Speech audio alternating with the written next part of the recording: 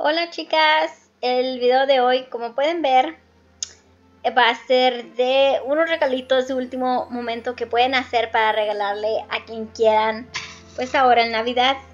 Y son muy bonitos de hacer y fáciles y pueden incluir a toda la familia para hacer todo esto. Bueno, lo primero que vamos a hacer, vamos a hacer unos trineos de dulces. Y para esto voy a utilizar unos chocolates. Ustedes pueden usar los chocolates que quieran, los chiquitos o grandes como sean. Y vamos a usar unos bastones de caramelo y nuestra pistola de silicón. Luego vamos a tratar de darle forma a un trineo usando los chocolates como aquí lo ven. Y luego ponemos los bastoncitos de caramelo uh, pegados para pues para que dé forma al trineo. Luego puedes usar cualquier cosa que tengas para decorarlo. Y use estos listoncitos y también un moño de Navidad. Así. Y como pueden ver es simple y es muy bonito.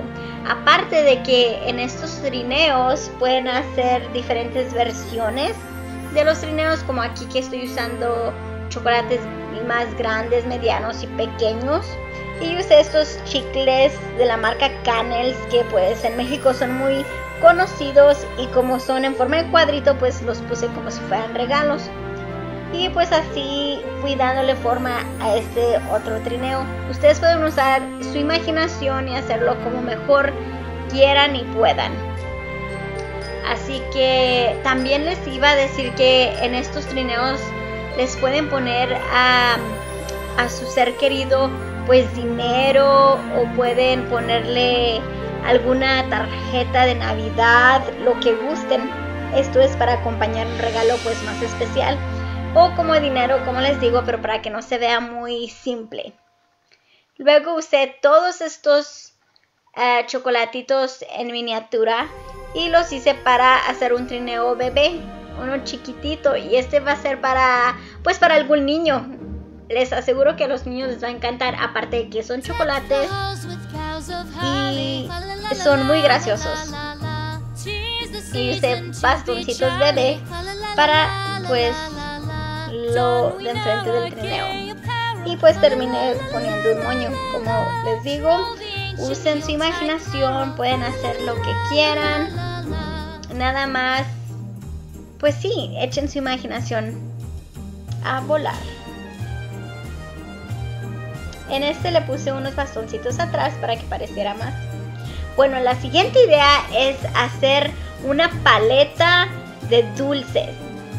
Primero lo que usé fue esta bola de nieve seca y luego puse un palito a la bola y pues yo usé dos cosas para hacer esto.